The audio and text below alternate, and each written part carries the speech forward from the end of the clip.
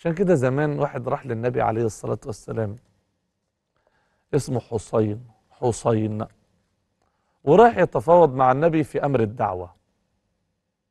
النبي لما بعث أهل مكة ما كانش عاجبهم الوضع ده خالص.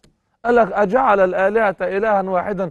ده كان عندهم 360 صنم حوالين الكعبة بيسجدوا ويتعب ويعبدوهم. ويقول لك ما نعبدهم إلا ليقربونا إلى الله زلفى هم ناس مشركين بيعبدوا مع الله إلها آخر ده الشرك. فحسين ده راح يكلم النبي يعني ما تسيبك من الدعوة والإسلام ده وبتاع. فالنبي بيقول له إيه اللهم صل عليه. بيقول له يا حسين كم إلها تعبد؟ بيقول أنت بتعبد كم إله؟ قال له سبعة. بتعبد سبع آلهة؟ سبعة. قال له آه. بعبد سبعة. ستة في الأرض وواحدا في السماء. فالنبي قال له يا حسين طب أنا بحدردش معاك كده وتصدقني القول يعني. أنت بتعبد سبع آلهة قال له أيوة. ستة في الأرض وواحد في السماء.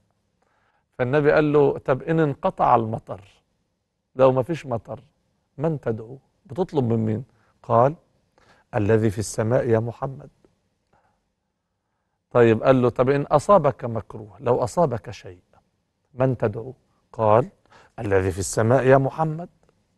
يعني لو عيل تعب شوية وبتطلب له الشفاء قال له الذي في السماء يا محمد. عايز رزق تطلب منه قال له الذي في السماء يا محمد. قال لا أنا عايز أنا نفسي عايز أعرف. طب الستة الفرد دول لازمتهم إيه؟ طب النبي قال له السؤال الثاني بقى. قال له طيب يستجيب لك وحده أم يستجيبون لك؟ يستجيب لك وحده أم يستجيبون لك؟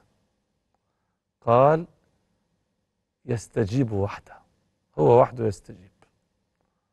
فقال له يا حسين يستجيب وحده وتشركهم في العبادة؟ أسلم. فإن أسلم أسلمت علمتك كلمتين ينفعانك